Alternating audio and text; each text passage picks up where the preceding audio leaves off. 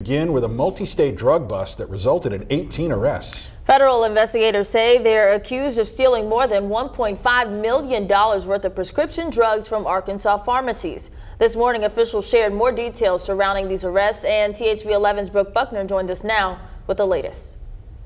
Yeah, Faith and Rolly, an organized crime ring from Houston is accused of robbing more than 20 Arkansas pharmacies. Federal investigators say it was all part of an operation called Rich Off Meds between February 2022 and November of this year.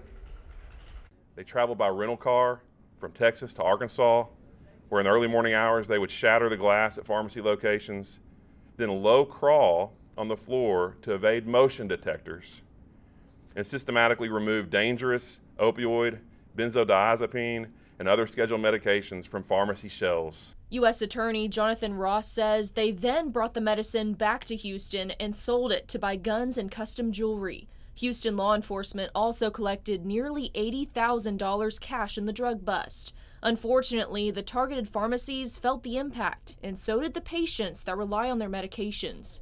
Patients either had to wait on new supply of controlled substances or go to other pharmacies in order to have their prescriptions filled. As a pharmacist and as a, the director of the Arkansas State Board of Pharmacy, I got many of these disheartening calls from my colleagues, my friends, my fellow pharmacists when they would come into their store and discover that overnight they'd been broken into and they'd had a loss of controlled substances. But at the end of the day, they say they're happy to get these potentially dangerous drugs off the streets. We're all friends. We will work on these things together and we're resources for each other. So I just want to thank everyone up here today that this is a, an absolute wonderful end to a tragic story, and I look forward to seeing more results like this to come in Arkansas.